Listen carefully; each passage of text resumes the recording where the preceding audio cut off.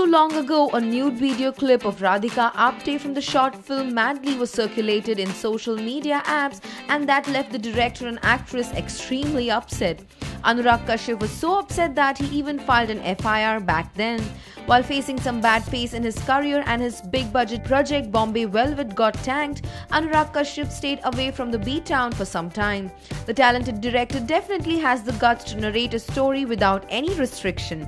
He directed the short story Madly, starring Radhika Apte and Satyadeep Misra. Madly is an amalgamation of six short love stories from six parts of the world. The stories are directed by six directors around the world.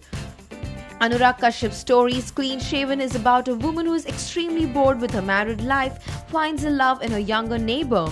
The story further states that though it frees her mind, but her boring herself continues to imprison her heart and body.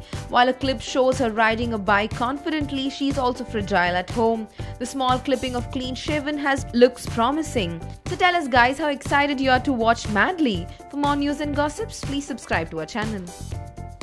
ए, हम्म, कहाँ जा रहे हो आप subscribe करना बाकी है मेरे दोस्त हम्म।